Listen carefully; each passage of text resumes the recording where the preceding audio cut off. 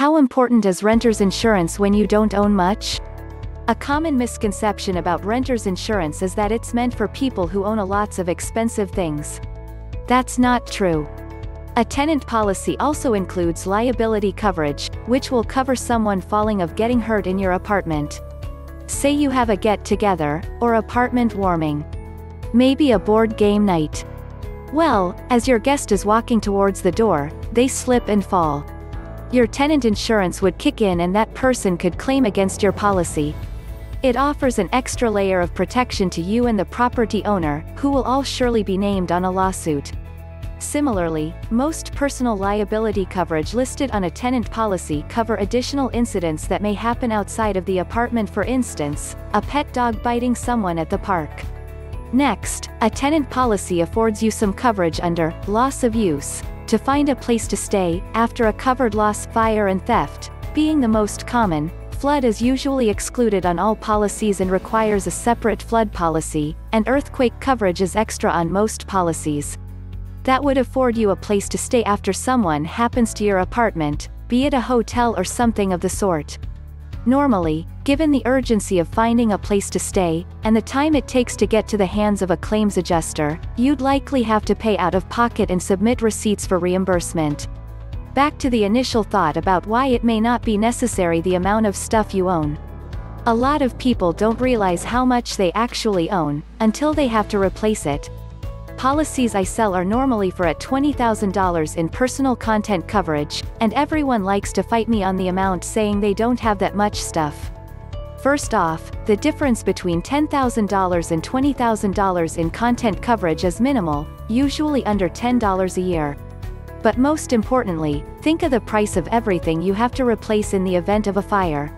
Even at the minimum, 2 to 3 pairs of shoes $150 modern TV $250 minus 300 clothes jackets $400 mattress $500 bed dresser nightstand $600 table and chairs 300 laptop 450 and those are all extremely low numbers in the event of a total fire loss, you have to replace everything, down to your socks and underwear toothbrushes, shampoo, every piece of electronic and houseware tablet, coffee maker, toaster, etc. Those numbers add up really quickly. If you have children their things including toys go included in the above calculations, and anyone else that lives with you. Most insurance policies that I've dealt with have an endorsement or already include an amount that can be paid out to you for loss of money in cash, that might be in a piggy bank or wallet at home. As a final point, if you own an insurance a car, ask that company to give you a quote for renter's insurance. They'll normally be able to apply a discount to your car insurance and the price of the renter's policy may be non-existent after the discount to your car insurance, or at least, it'll be lower. Tenant policies tend to start at about $6 minus 7 a month, However there is usually a monthly payment fee, so I suggest paying it in full, if possible or going on automatic draft payments, which generally lower the monthly service fee amount from $5 minus 6 to $1 minus 3. Edit. Keep in mind tenant policies also have a deductible, which is the amount you're will to put out of pocket, in the event of a covered incident, before the insurance company will pay out. So even though a higher deductible will make your price lower, try to opt for something with a deductible you will be okay covering in the event of a total loss. Even if you don't own much, I have a one-word answer for you, liability. Renter's insurance is very important. For example, in California landlords can require a tenant to have liability insurance, which is typically included in a renter's insurance policy. So assuming you get a decent renter's insurance policy, not only will your own possessions be covered, so will your liability for damages caused to others. Furthermore, a renter's insurance policy should help cover the costs of a hotel stay if your apartment becomes uninhabitable due to a fire or flood etc. Renter's insurance is also very cheap. If you get more than one kind of insurance from the same carrier company, you usually get discounted rates. I strongly recommend that you contact whoever you get your car insurance from, or whatever insurance you have, to see what the rates are. You will probably be pleasantly surprised. There are three parts to renter's insurance. One part insures the value of your possessions in the unit. Another part pays your living expenses if the unit is temporarily unavailable. The third part provides liability insurance for anything that happens in the unit. A renter friend of mine had an accidental kitchen fire.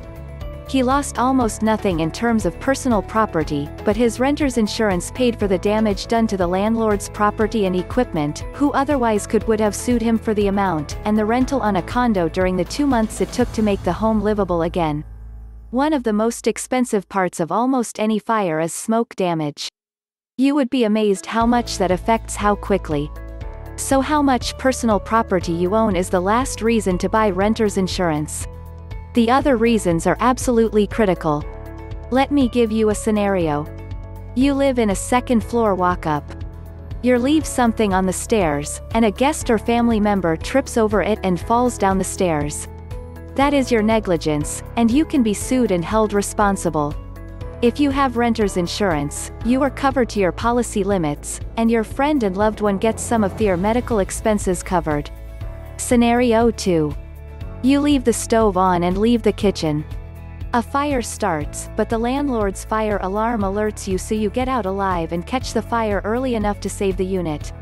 Your renter's insurance will do two things. Since it was your negligence, they pay the damages. And since the unit will be temporarily unlivable due to your action, the renter's insurance will help pay for your temporary living expenses while the unit is repaired, or help you relocate.